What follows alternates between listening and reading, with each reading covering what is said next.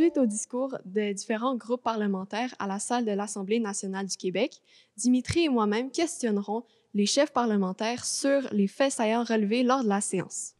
Le projet de loi sur l'intégration professionnelle des immigrants. Les immigrants sont extrêmement importants pour notre société québécoise. Premièrement, ils, ils nous aident sur le marché du travail parce qu'on sait qu'on est dans une pénurie de main-d'œuvre. L'opposition a la forte euh, opinion que les immigrants, c'est c'est une bonne source pour le Québec. Ils viennent, ils nous aident, ils amènent la, culture avec eux.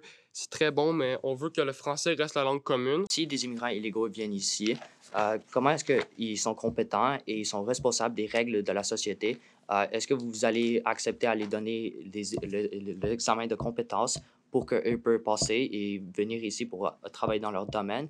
Les immigrants illégaux, ils vont devoir faire une demande d'asile pour pouvoir euh, avoir accès à ce projet de loi-là. Quel est votre enjeu associé à le projet de loi numéro 1 euh, en encadrant les dettes euh, des agriculteurs? Donc, je pense qu'aider nos agriculteurs est extrêmement important. Donc, je pense qu'offrir une certaine aide financière aux agriculteurs nous permettrait, nous, de payer beaucoup moins cher pour une épicerie. Mon enjeu, c'est vraiment la sécurité alimentaire et économique du Québec.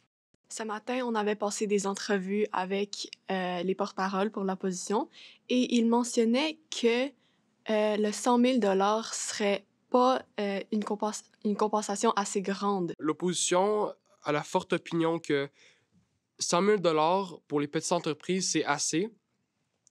Mais pour, les, pour un qui a plus d'exploitation agricole ou une plus grande ferme, c'est pas assez. J'espère que les questions que nous avons posées aux chefs parlementaires vous avez fait comprendre plus sur les projets de loi, le rôle du gouvernement et les intérêts des oppositions envers la population du Québec.